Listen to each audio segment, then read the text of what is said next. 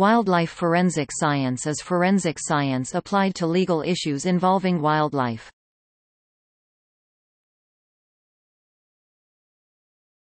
Topic: Laboratories and organizations.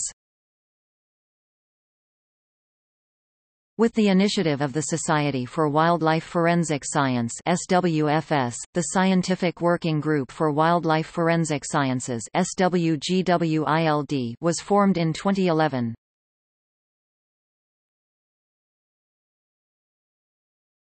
Topic: Scope While animals and plants are the victims in the crimes of illegal wildlife trade and animal abuse, society also pays a heavy price when those crimes are used to fund illegal drugs, weapons and terrorism. Links between human trafficking, public corruption and illegal fishing have also been reported.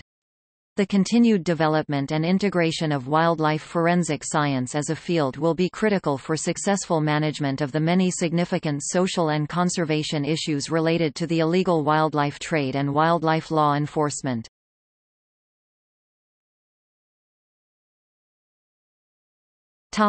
See also.